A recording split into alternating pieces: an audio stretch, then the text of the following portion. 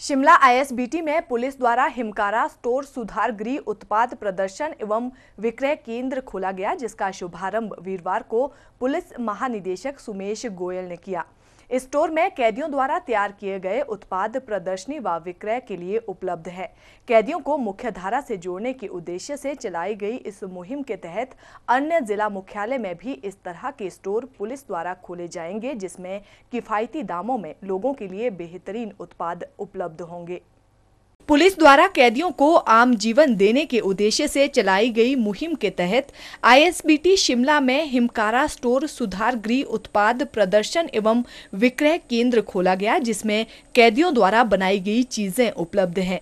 इस स्टोर के खुलने से जहाँ एक और कैदियों की आय में बढ़ोतरी होगी, वहीं दूसरी ओर यात्रियों को भी किफायती दामों में बेहतरीन उत्पाद मिल पाएँगे। पुलिस महानिदेशक सुमेश गोयल ने कहा कि पुलिस के इस कार्य को जनता व सरकार का भरपूर सहयोग मिल रहा है। उन्होंने कहा कि पुलिस द्वारा इस मुहिम के तहत कैदियों को आम नागरिक की तरह जीवन यापन करने का अवसर दिया जा रहा है। सुमेश गोयल ने कहा कि आने वाले समय में इस तरह के स्टोर प्रत्येक जिला मुख्यालय में खोले जाएँगे। इसके अलावा उन्होंने कहा कि उनका उद्देश्य ज़्यादा से ज़्यादा कैदियों को रोज़गार के अवसर प्रदान करना है। उद्देश्य यही है कि ज़्यादा से ज़्यादा हम अपने जो बंदी हैं, उनको रोज़गार के अवसर उपलब्ध करवा सकें। तो आज हमने एक ये प्रयास शुरू किया है आई एस में। हमें बहुत सारे लोगों से ये कहने को, सुनने को मिल रहा था कि आई एस में अगर आपका एक स्टोर खुल जाए तो हमें बड़ी सुविधा होगी। तो हमने यहाँ पे फिर एक स्टोर का प्लान किया और आज इसको विधिवत रूप से इसका शुभारंभ किया गया है। मुझे उम्मीद है कि यहाँ जो हमारे जेल के प्रोडक्ट्स हैं, उससे जो आई एस में यात्री लोग आते हैं, उनको लाभ होगा। और आने वाले दो चार दिनों में हम यहाँ पे भोजन की सुविधा भी उपलब्ध करवाने वाले हैं।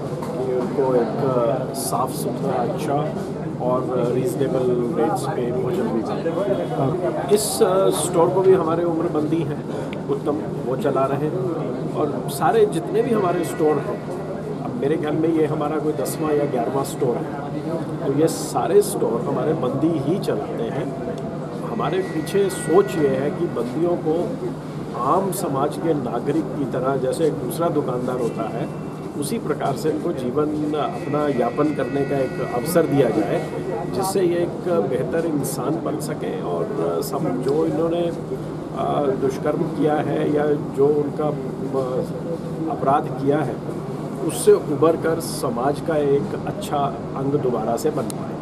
कैदियों को मुख्य धारा से जोड़ने की पुलिस प्रशासन की ये कोशिश सच में काबिले तारीफ़ है। पुलिस प्रशासन की इस कोशिश से जहाँ कैदियों को समाज का बेहतर नागरिक बनने की प्रेरणा मिलेगी, वहीं दूसरी ओर घर के किसी सदस्य के जेल जाने के बाद बिगड़ी घर की आर्थिक स्थिति को भी पटरी पर लाने में सहायता मिल रही है। Bureau report, city channel, Shimla.